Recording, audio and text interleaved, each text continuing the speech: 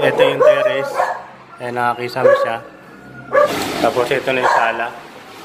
Wala kasi, kisama siya may cob light. May cob light siya, may diray sa gitna. Tapos ito yung kwarto. Yung kwarto niya maliliit lang. Yan o. Tapos ito pa yung isang kwarto. Yan o.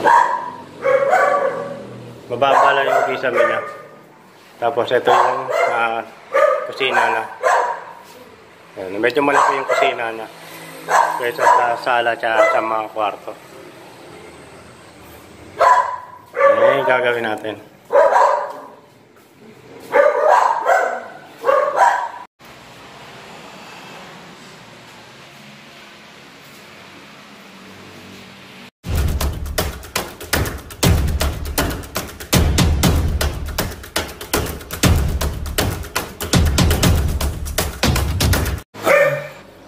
Okay, what's up mga boss? Ah, good morning po sa inyong lahat. Ah, welcome back again sa ating YouTube channel. Yan. Uh, bali, andito po tayo ngayon sa bagong project natin. Di, ah, bali, unang gagawin natin, siyempre, ah, mamasilyahan natin yung mga dugtungan ng kisame. Yan, kasi artiflex yan.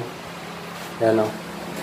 Artiflex yan yung ginawa nila rito. Ah, gagamit tayo nung ginagamit natin yung non-sag epoxy. Yan, para hindi na tayo maglalagay ng tape na uh, panglagay sa ceiling. Kasi pangit, hindi ako naglalagay nun kasi uh, bumubukol yun eh. Minsan, uh, yun ang kumakalas. Yun ang unang kumakalas. Uh, kaya hindi na tayo gagamit nun. Uh, non-sag epoxy lang gagamitin natin. Uh, yung mga dugtungan yan, uh, mas makunat kasi yun. Mas magandang gamitin. Kaya Subok na natin. Naumpisa na nga po pala natin dito. Yan, may nailagay na tayo dyan. Na sampatong. Pero sampatong yung nilalagay natin, din na natin ng patungan. Tapos, uh, lalagyan na natin siya ng yung skin coat na papatong natin. Pero bago lagyan ng skin coat, uh, nilalagyan muna natin siya ng flat latex para kumapit yung skin coat. Titimda tayo ng ano, ng lansag epoxy. Gamit natin ito para pamusila sa mga gulungan ng palitan ng epoxy. Sabi, ito yung A, ito yung yan. Yan, na may na yan, pakiyat yung yung yung yung ano niya, dami niya uh, pag mag-release tayo. Tapos, ito yung A. Medyo magulat talaga to. Medyo mahirap na kasi pero kailangan natin kailangan. Tapos, uh, gagawin tayo ng paleta ng budget. Paleta gagawin natin. Para pala magpunta lang tayo ng ano, yung tayo ubusin.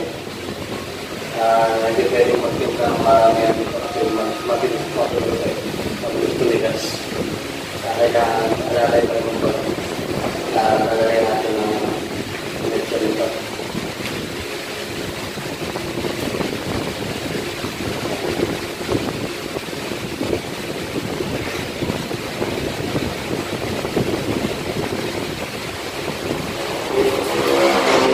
Pakita ko sa inyo yung paglagay. Paglagay nito. Para may idea ka.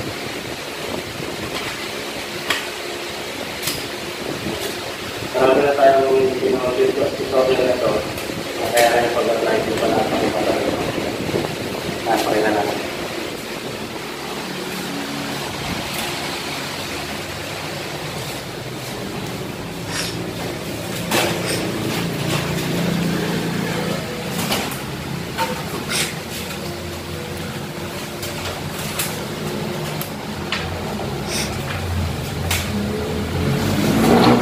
Yung pagitan ng visa may kailangan meron talaga yung siwang para malalagay natin dito sa loob. Yan. ah, okay naman yung paggawa nila yung gumawa ng visa may. Yung mga siwang naman siya. Kasi yung iba magkadikit talaga kaya mahirap na sindahan. Ito naman yung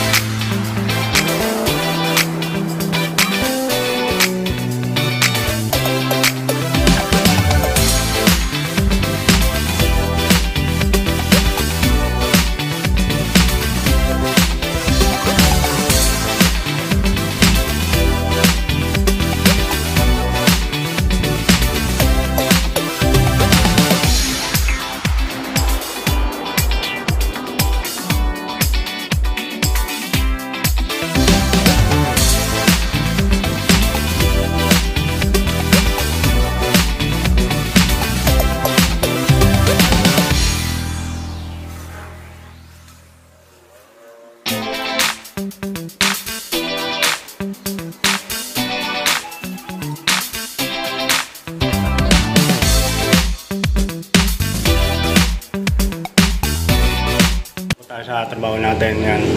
Ah, bali, gumagawa pa rin tayo ng ceiling. Ayan. Bali, kahapon na nilagyan natin ng ano, ng ay anan sa epoxy, yung mga tutungan. Yan. Tapos nilagyan natin siya ng ah, flat latex para kumapit yung lalagay natin steel ko. Ayan o. Si hard deflex ito eh. Deflex. Yung mga dugtungan nilagyan natin ng mga uh, lansag epoxy para mas makunat kasi ito. Saka di na po ako naglalagay ng ano, tape. Yan na lang nang nilalagay ko. Kasi pag nalagyan ng pa natin ng tape, ah bali umuumbok siya, bumubukol eh. Ah, kaya di na tayo naglalagay nun. Okay?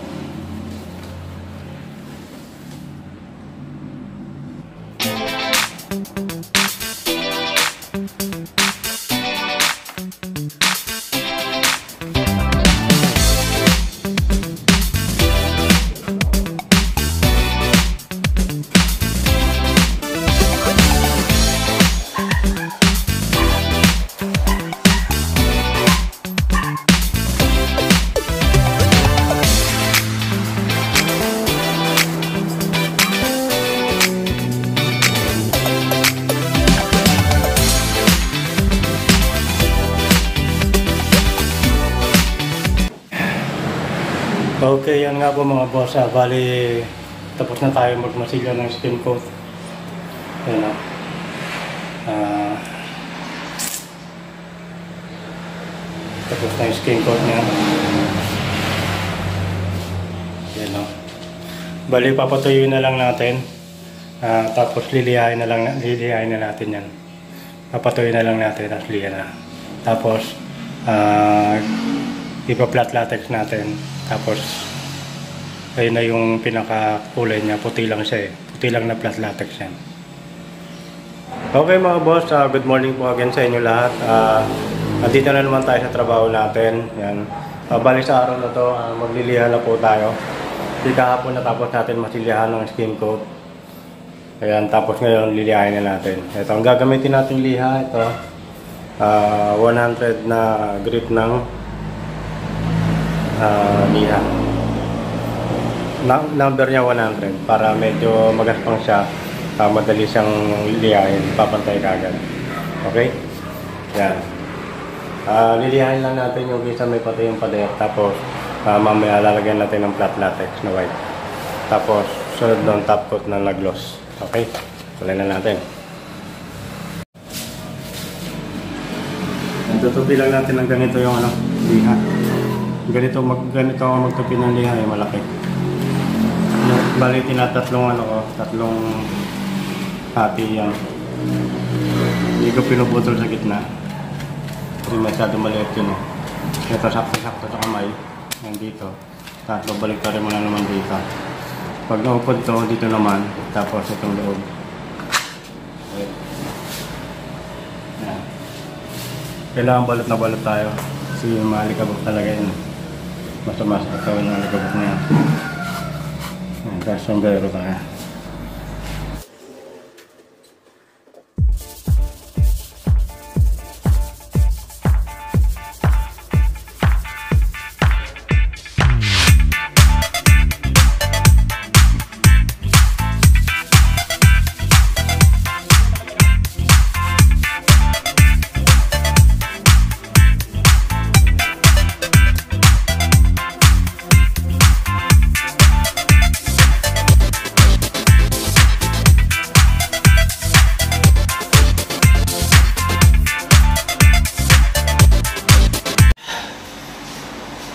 Okay yan po mga boss. Ah, bali, ayan, bali tapos na tayo magliha.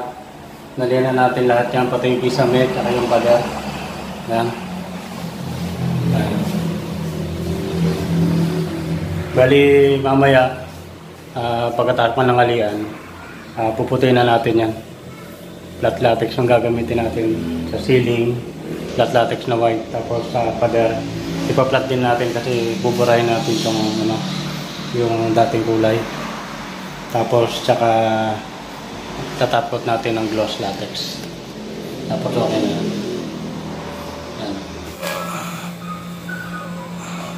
Yan. Not quite.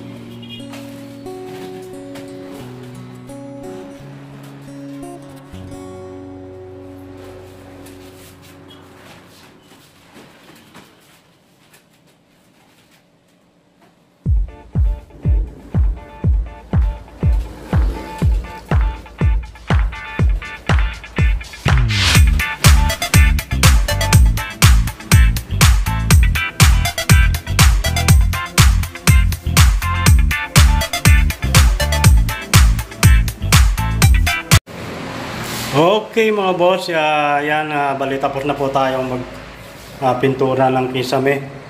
Yan. Bali, finished product na po yan. Ayan, oh, malinis na siya. Yan. Bali, flat latex po na white ang nilagay natin dyan. Ay, hindi makintab. Yan. Tapos yung sa pader, ah, nilagyan din natin ng flat latex yan. Ah, pinaka-primer niya para sa top coat natin. Bali yung top coat niya na gloss latex yung gag- gagamitin natin. Yan o.